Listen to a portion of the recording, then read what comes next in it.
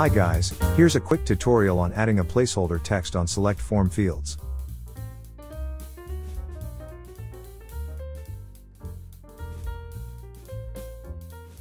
As you notice on our select field, an option is already selected.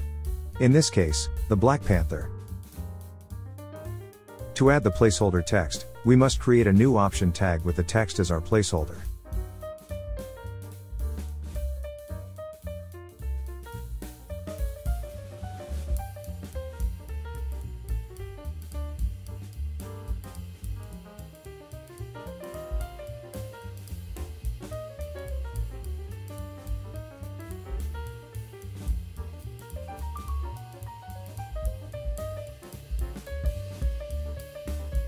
Now, it's part of the option.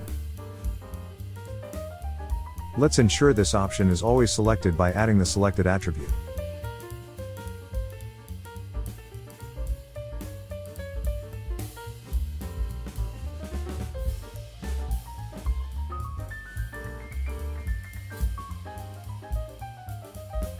Finally, let's hide it as part of the option since we only need it as a placeholder.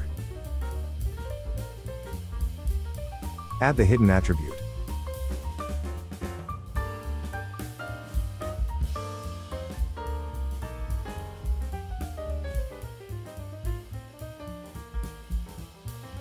Now, it's not part of the options but only as a placeholder text.